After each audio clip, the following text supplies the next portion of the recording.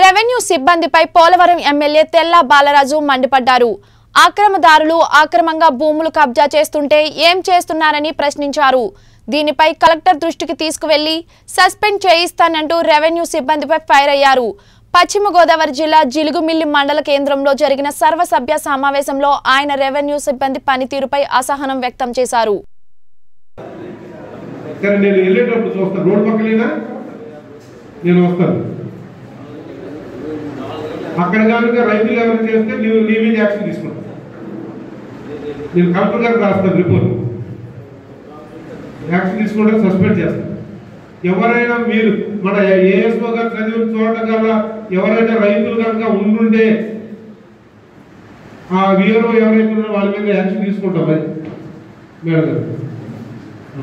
సంబంధించిన భూములు ఫ్లెక్సీ పెట్టారు మండల రెవెన్యూ ఆఫీస్ నుంచి. కానీ వాళ్ళు ఇంకా ఫ్లెక్సింగ్ వేసి దాంట్లో పాక్ కూడా పెట్టేశారు ఇక్కడ జీలింపల్లి మన ఆర్టీఓ చెక్ పోస్ట్ ఆపోజిట్ అది పంచాయతీకి కొంచెం హ్యాండ్ ఓవర్ చేస్తే మీరు జీలింపల్లి పంచాయతీ కన్నా హ్యాండ్ ఓవర్ చేస్తే ఏ మేము ఏ పెట్టారు సార్ అందులో?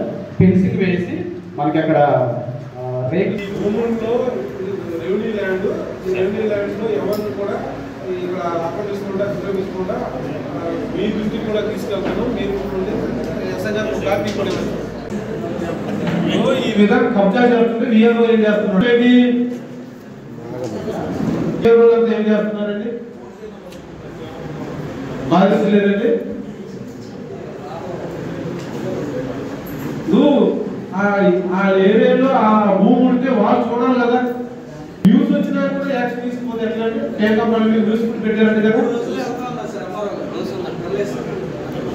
నేను కాపలా కూర్చోనా? ఇలా ఏడు మండలంలో జైలు కాపలా కూర్చుంటా ఉండమంటే ఉన్నానండి రాత్రి కూడా. మీరు చేయలేనప్పుడు నేనే కూర్చు కూర్చుంటాను.